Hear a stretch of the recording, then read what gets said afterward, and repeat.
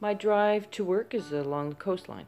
So uh, there's a particular cove, this one here, where I'm able to see the beach when it has kelp, which is quite often, certainly after storms.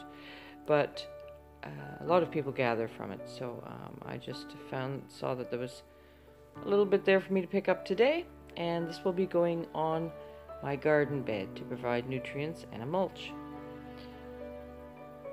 Here I've just, um, I, when I get home, I lay it out in the grass and uh, wait for rainfall to come, and that just washes some of the salt off.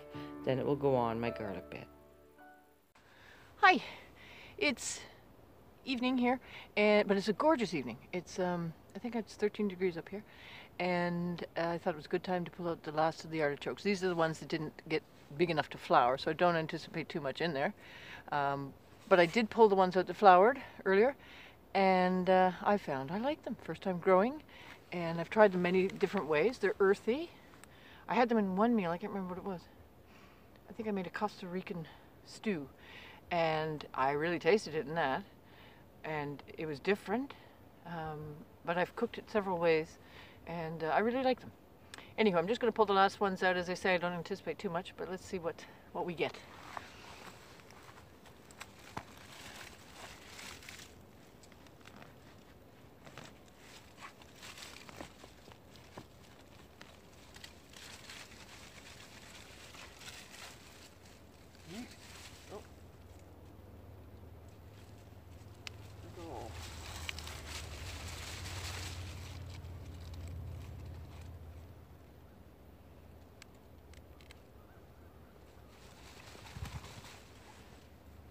So this is what, there's different types. This is what, I can't remember the name of this one is. Um, if I do find it, I'll put it on the top there. But um, this is what they look like. These are smaller ones. The other ones I got were bigger. Uh, there was all sizes, but there was a lot of bigger ones. But I'm pleased because these plants, as I say, didn't even get to flower. And I'm really looking at these ones now to figure out where I'm going to replant. So I'm hoping I get a couple anyway. Let's see what else is here.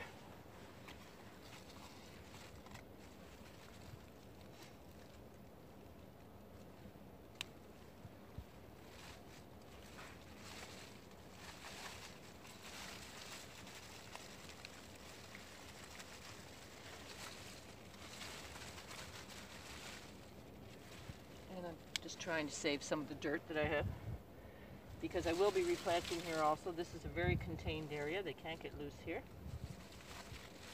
Okay. That. So here's some of the other plants. Oh, you won't be able to see that. Anyways, they were quite big. They're beautiful sunflowerish flower on the top.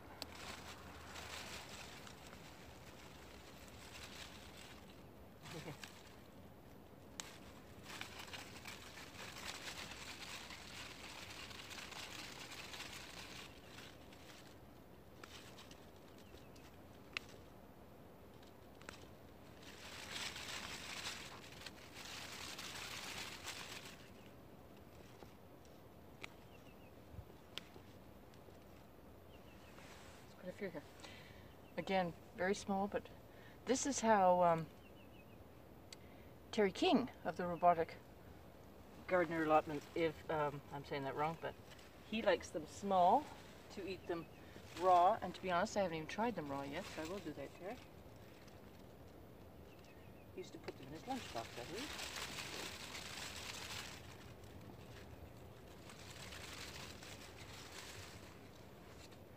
I don't know if there's any in here. Maybe some.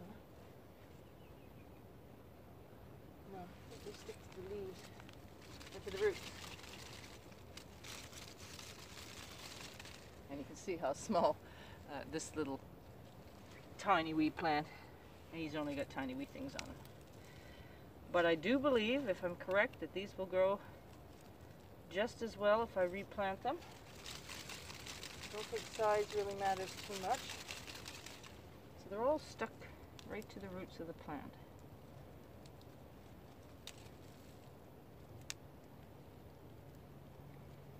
I have them in this hole you might have seen earlier where when I planted them it's because they're uh, invasive, not in a horrible way, not that you can't contain them.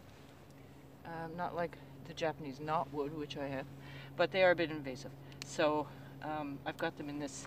They can't escape out of here, but I am going to. I like them so much. I'm going to actually find another spot also where they can maybe spread a bit more, and I can get a bit more of a yield from them.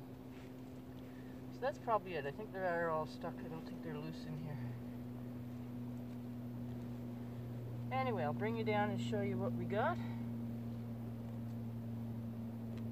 This is just some other weed going crazy.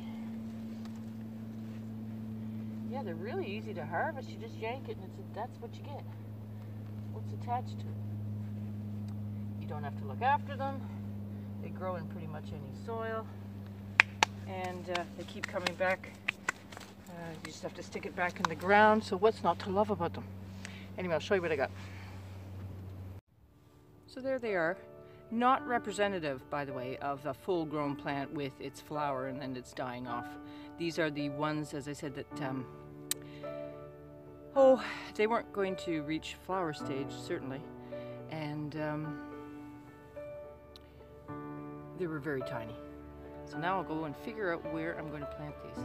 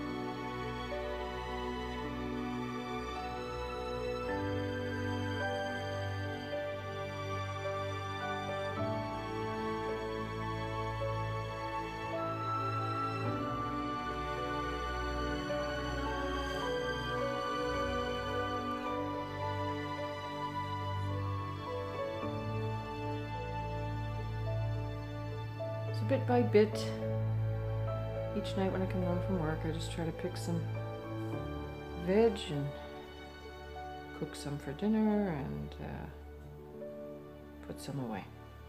So it's just a lot of little bits and bobs out there now.